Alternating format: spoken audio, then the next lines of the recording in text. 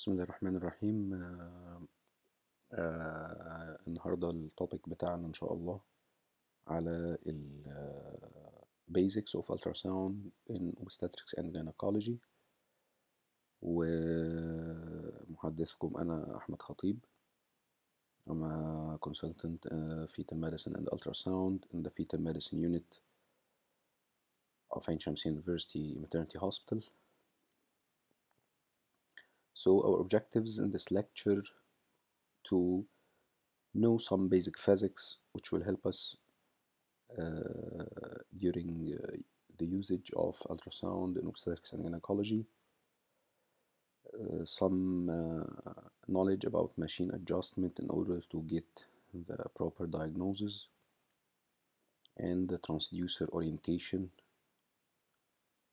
Then we will uh, finish by what are the scanning planes we should know. So about the basic physics, uh, Christian Andreas Doppler was born 1803, died 1853 in Austria, and he was uh, uh, a scientist in physics and mathematics. He graduated from the Imperial Royal Polytechnic Institute, which is now the Vienna University of Technology, and worked in Prague Polytechnic Institute, which is now the Czech Technical University, and was born in Salzburg beside Mozart's family. Died at the Kingdom of Lombardy, Venetia, which is now uh, Milan and Venice in Italy. What is the Doppler effect or Doppler shift? This theory was first proposed by the Christian Andreas Doppler in 1842 and uh, was illustrating the uh, colored light of the binary stars and some other stars of heaven. The hypothesis uh, was tested for sound waves by Buys-Ballot in 1845. The Doppler effect or Doppler shift are the changes in frequency or wavelength of a wave for an observer who is moving relative to the wave source. The best illustrating uh, thing to know what the Doppler effect or Doppler shift is is the siren of an ambulance when it comes to you and move away from you. This is Buys-Ballot who tested the uh, Doppler effect or Doppler shift for sound and the hypothesis was was tested for sound in 1845 as we mentioned before. The first one who tested these hypotheses for medical purposes was Shigeo Satomura which is a Japanese doctor born 1956 observed that erythrocyte can reflect the ultrasonic waves and this effect is called the Doppler effect. So Doppler effect, as we mentioned before, is a change in the frequency of the reflected ultrasound waves background backscattered from the structure that is in motion. The Doppler ultrasonography, because of its accessibility and non-invasiveness, safety and easy uh, for patient, has become the method of choice in the diagnosis of vascular diseases.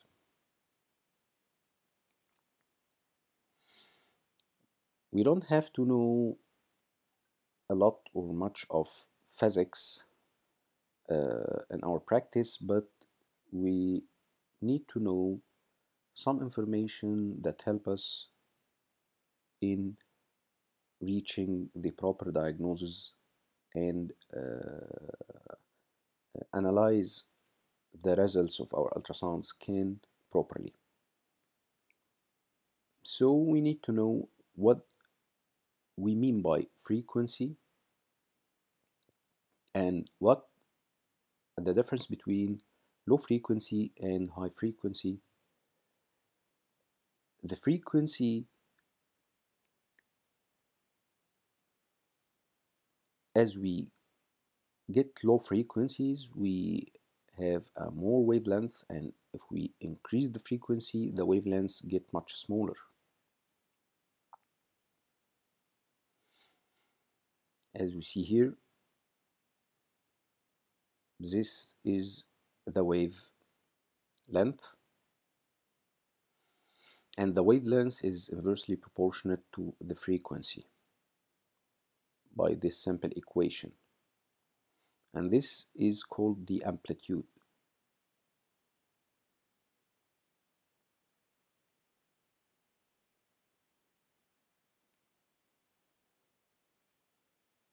So the speed of sound in any medium will differ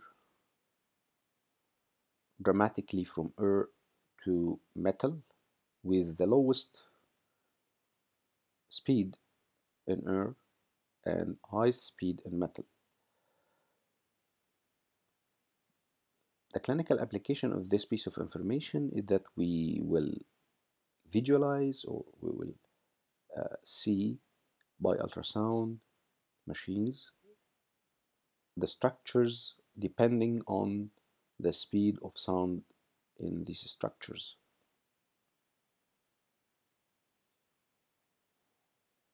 So what is ultrasound? The sound is classified is based upon the ability of the human ear to hear it.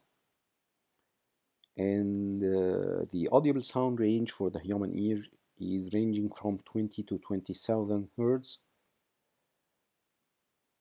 And the medical ultrasound equipment using a frequency range from 2 to 10 megahertz and maybe up to 17 nowadays for diagnostic purposes. We use in the obstetrics and gynecology uh, ultrasound transducers a frequency range uh, from 3 up to 10 megahertz.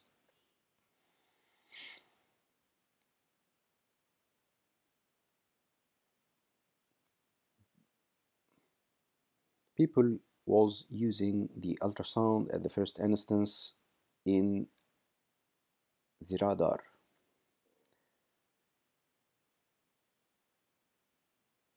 Ultrasound waves are generated from piezoelectric crystals within the transducer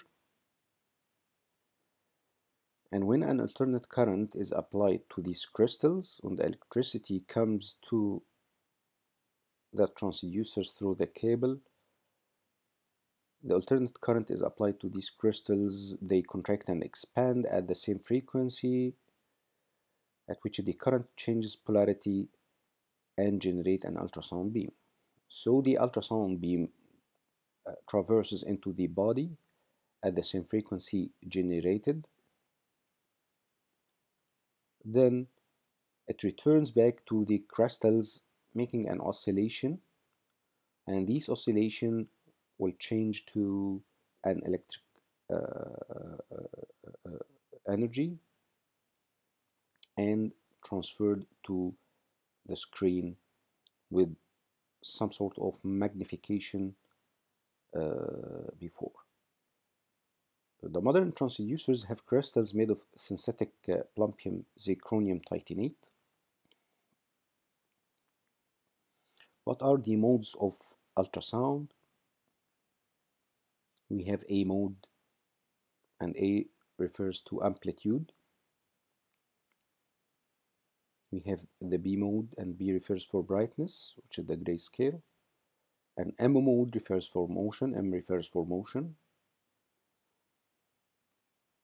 Doppler mode or color Doppler mode. And pulse inversion mode, as well as the harmonic tissue imaging mode. So who can perform the ultrasound? One who has a competent use of ultrasound techniques requires an understanding of the capabilities and limitations of ultrasound, the different parameters which contribute to the image display, and we will talk about it in a while, the anatomy of the scanned area. Uh, here we finish the first part of our lecture and the uh, second part will be we will talk about the machine adjustment uh, and we will notify you about the uh, time. We will talk about uh, this topic. And thank you all for your kind listening